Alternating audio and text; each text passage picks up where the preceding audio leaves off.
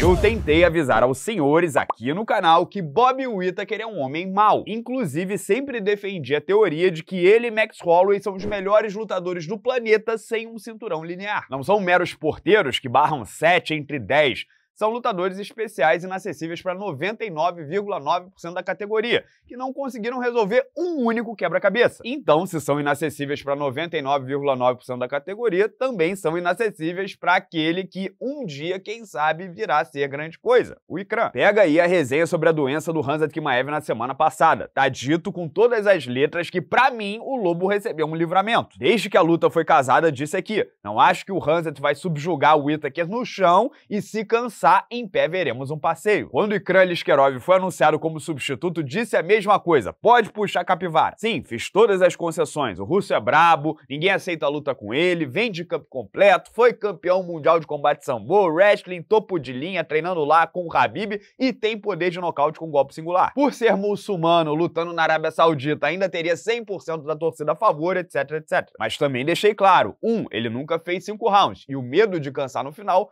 pode ter deixado ele um pouco mais lento, comedido no início. Ele nunca fez luta principal no UFC, nunca recebeu a pressão de que sua vida iria mudar com uma vitória, que foi o que o Dana White disse, e também nunca enfrentou um ex-campeão do mundo. Dois, com todo o respeito do Phil Halls e do Arley Alves pro Robert Whittaker, há um salto em nível de competição. Em quase 11 anos como peso médio, Whittaker lidou com um verdadeiro corredor da morte. Assassino psicopata atrás de assassino psicopata. O melhor wrestler do MMA, o melhor jiu-jitsu do MMA, o melhor strike striking no MMA antes do Poitin chegar, dois campeões do TUF, por aí vai. E nesse tempo todo ele só não desvendou um único cara, o Israel Adesanya, sendo que a última luta entre eles foi 3 a 2 O caso do Duplessis, nem acho que foi uma questão do jogo não ter encaixado, foi mais um movimento incomum, porque o sul-africano tem jogo estranho que não foi respondido a tempo. Foi tipo um truque. E no caso de novo enfrentamento, duvido que o australiano caia de novo. Então, se na minha cabeça o Ikran não ia botar para baixo e amassar um cara que foi campeão australiano de wrestling e a faixa preta de jiu-jitsu há bastante tempo, para mim só daria zebra se o queixo do Itaker tivesse deteriorado, né? Os danos acumularam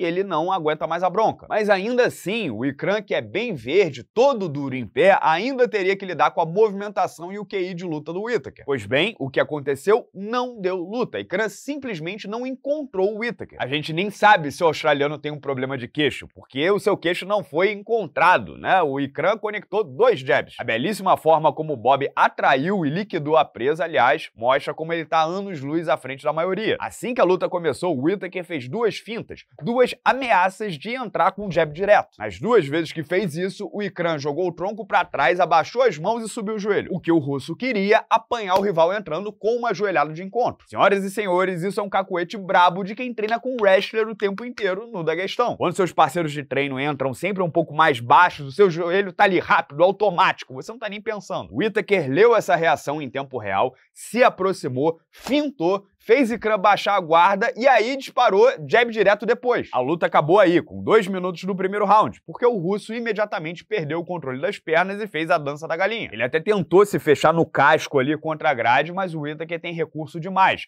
Se virar alvo fixo, meu amigo, não tem jeito, cai. O cara erra muito pouco. A escolha do golpe final foi perfeita. O único que vazaria aquela guarda de cara, um upper mortal. De novo, para mim, o Whittaker é o terceiro melhor peso médio da história. Ah, Renato, mas e o Chris Weidman? Para mim, o Whittaker é superior. Ele, inclusive, tem três vitórias a mais na categoria, 15 contra 12, sendo bem mais novo. E a garra que o malandro tem para levantar de novo e de novo é memorável, característica de seres humanos incomuns. Perdeu para Adesanya, atropelou uma tropa. Perdeu para Adesanya de novo, atropelou mais um. Perdeu para o Whittaker, atropelou mais dois. Sobre o Aliskerov, acho que ele flopou, baranga total, não tem futuro no UFC. Pelo contrário, boa sorte para qualquer um que tenha que lidar com ele na sequência. Se não desmoronar psicologicamente, e a recuperação depois do nocaute que recebeu do Hanset prova que o rapaz é cascudo, acho que chega no topo cedo ou tarde. Tem só 31 anos. Por quê? Porque não tem outro Robert Whittaker para pará-lo, um cracaço capaz de aproveitar cada brecha. Quanto a esse, Dana White já adiantou que será o reserva oficial do UFC 305,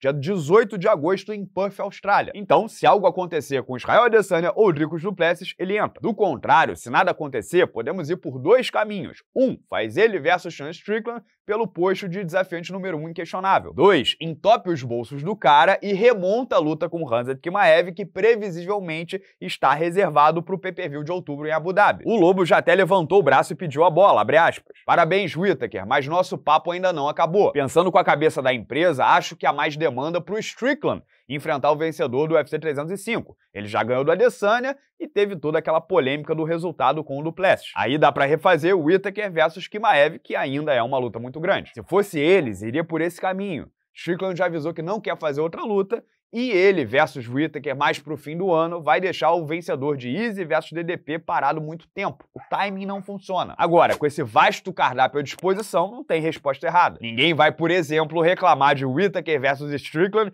em setembro na Esfera, junto com Max Holloway e Lia Topuria, e depois Hanzat Kimaev versus Borrachinha em outubro. Sim, o Whittaker pode simplesmente dizer não pro Hanzat. Não quero pegar o décimo do ranking, e de novo pro Oriente Médio, muito menos porque o cara tá sempre doente. Imagina só fazer outro campo inteiro para pegar substituto de última hora. Outro Ikran Liskerov, alto risco, baixa recompensa. Por isso disse antes, Dana White terá que molhar gostoso a mão do cara. E como o Whittaker sempre foi meio dinheirista da samba. O meu ponto é que não dá pro Whittaker e pro Strickland simplesmente esperarem o Tyro Shot. Um deles vai ter que lutar de novo. E acho mais provável o Whittaker, com o Tyro Shot garantido e uma grana turbinada, ir a Abu Dhabi. Mas passo a pergunta para vocês. Qual arranjo, qual é o arranjo ideal? Qual arranjo vocês preferem? Comentem livremente aqui embaixo no vídeo. Deixa o like, por favor, para ajudar a gente com o algoritmo do YouTube. E não perde a outra resenha desse UFC Arábia Saudita que eu vou gravar daqui a pouco, que é sobre o Shara Bullet. Não me impressionou, não estou convencido.